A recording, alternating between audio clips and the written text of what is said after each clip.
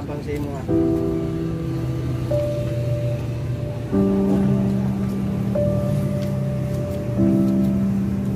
Salamat kay sir. Dagis.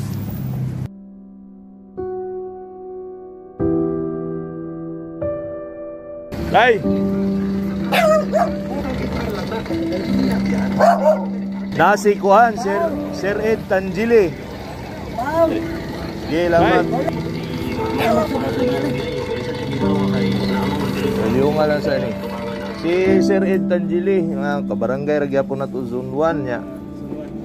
Ay malumong kasing-kasing nakita sa imuhang sitwasyon. Na siya gamayng kuhan si Muha, nga makapital-kapital daw si Muhang panginabuhian sa matag adlaw. Musta naman ka? Paglingko na sa gote. Init kay sunod. Mo, init kay ni kay Napasensya lang daw kay di man gud ni politiko.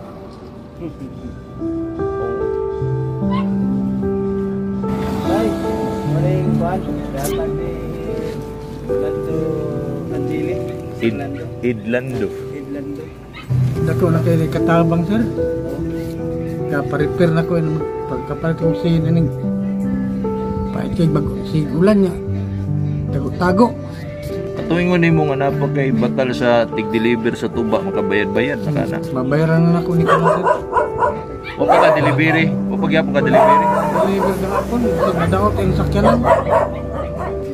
Salamat kayo ni sir. Sir, salamat kayo Sir Ed Tangeli. Salamat kayo sa grasya nga imong gihatod sa amo. Dako kay nakong tabang.